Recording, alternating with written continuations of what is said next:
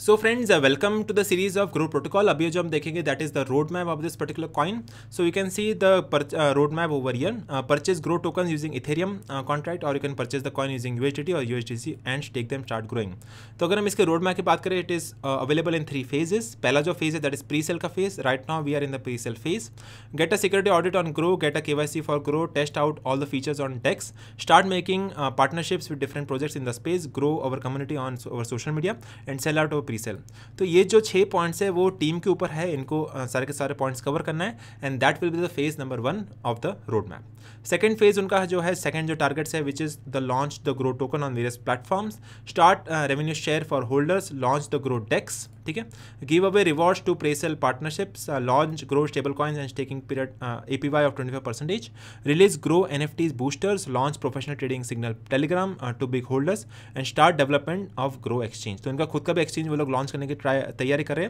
that is the Grow DEX exchange that will be the phase number two of the road map of this project तीसरा जो phase है that is hundred M C stage release our own launch pad for the new tokens launch our own N F Ts उनका N F Ts that is non fungible tokens उसके block change पे आने वाले हैं। उसके अलावा we have the market place releasing our lending system to the holders launch our Grow exchange and start developing Grow forex broker तो उनका forex broker भी डेवलपमेंट का स्टेज में है। That will be phase number three of the road map so right now we are in phase number one उनका phase number two and phase number three आने का तैयारी में. That is into the future. So that is all about the roadmap of Grow protocol.